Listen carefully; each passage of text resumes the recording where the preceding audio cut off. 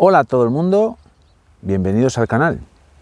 Bueno, como podéis observar, así a mi alrededor, hay un claro cambio de paradigma climático porque ya estamos en otoño. Ya esto es otoño y hay varios cultivos que ya, claro, ya lo, ya lo saben. y ya están diciendo que hasta aquí hemos llegado. Por ejemplo, los, los calabacines. La conclusión de mi cosecha de, o sea, de mi cosecha, de mi cultivo de calabacines, eh, que al principio cuando puse que eh, dijo mucha gente, ¡ay, ocho plantas, estás loco!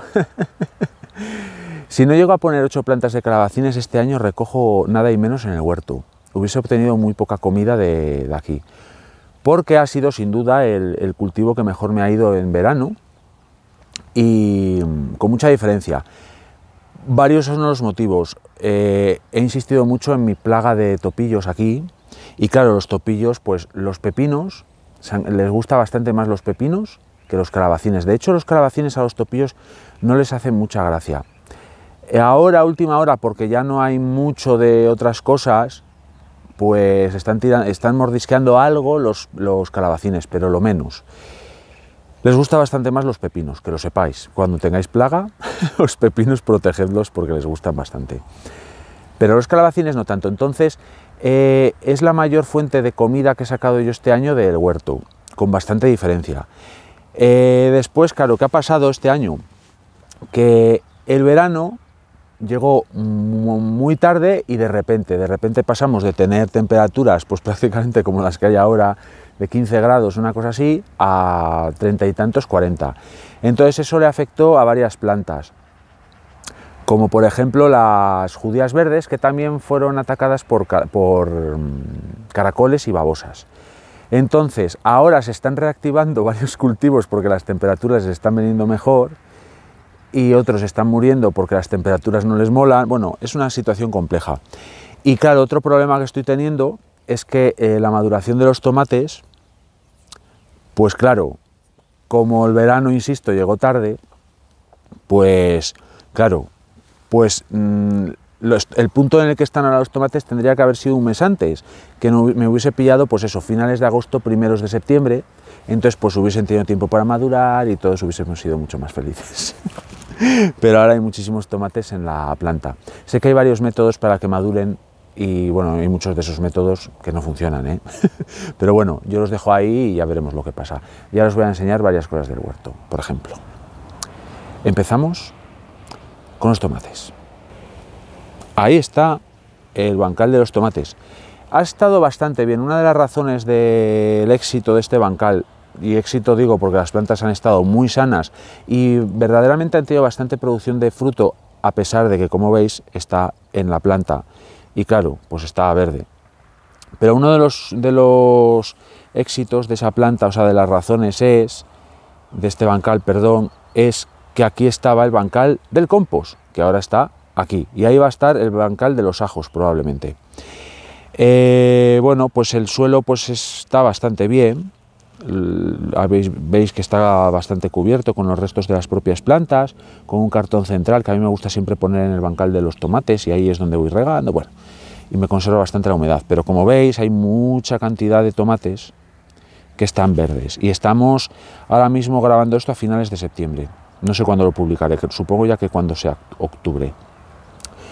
Eh, y después está la planta, las dos plantas espontáneas que hay aquí de tomate, que ya veis que están inmensas, tienen muchas flores, pero eh, muchas flores ahora a finales de a finales de septiembre, pues nada. Bueno, vamos a cambiar de bancal. Bueno, aquí tenéis el bancal de, del compost. Bueno, los calabacines, pepinos y judías verdes, que es la combinación que, bueno, veis que todavía hay algunas plantas de pepino, uy, pepino, de, perdón, de calabacín, que fijaos cómo están todavía dando lo mejor de sí. De hecho, son plantas que para nada están enfermas. Hola, Chatolín, Juan Antonio, porque hay algunas que viste que dijiste, ah, parece que tienen, que tienen oidio.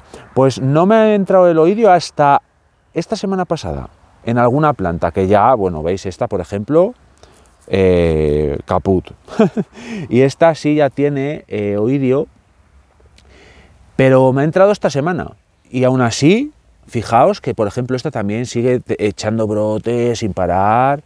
hay algunas que, como habéis visto hace un momento, que ya pues han dicho que hasta que han llegado y fuera. Y los calabacines, o sea, los calabacines, los pepinos, pues bueno, las plantas sí es verdad que ya están petardeando muy fuerte, ya tienen hongo, enfermedad, bueno. Y hay algunas que están echando eh, todavía flores incluso.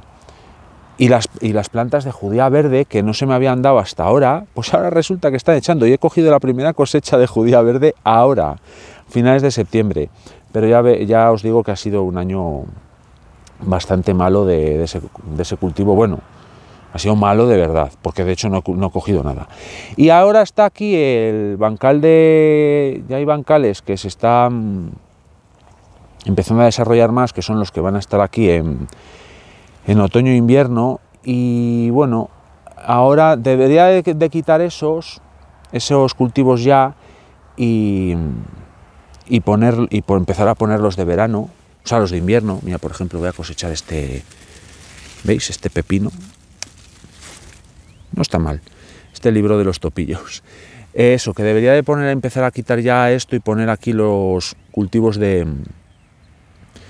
de otoño-invierno, que vaya a poner aquí, aquí pondré berzas, pero es que me voy de vacaciones ahora, sí, a finales. Cuando, cuando escuchéis o veáis esto, ya habré vuelto y entonces ya empezaré a hacer vídeos de, de los cultivos, de cómo poner cultivos de, de otoño, invierno y tal, pero ahora me marcho, entonces claro, no, el tiempo es el que es, esto es un huerto real, ya os lo digo siempre, ya no solo es que haya fallos del sistema y demás, que también los hay, sino que al final tenemos una vida y también cuando hagáis un huerto y tal, tenéis que tener en cuenta eso. Por ejemplo, ahora pues sí, tendría que quitar eso, poner aquí los cultivos de, de otoño, invierno y demás, pero es que yo ahora mismo me voy a marchar de vacaciones y voy a estar unos días fuera, entonces tenéis que tener en cuenta también ese tipo de cosas.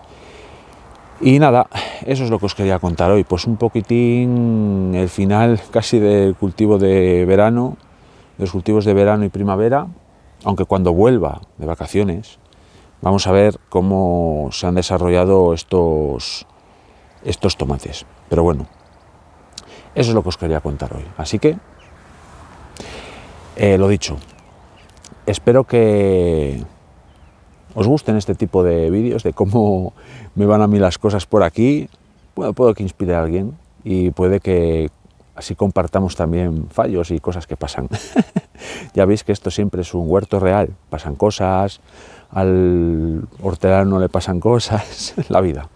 Así que nada, like, suscribiros, compartid, no os olvidéis del Telegram, no os olvidéis del podcast, comentad por favor Haceos mecenas por 1,99 aquí en el YouTube, comprar merchandising en la tiendina de Dani Cultura, en la tostadora.com y nos vemos a la vuelta de las vacaciones en el siguiente contenido de Dani Cultura.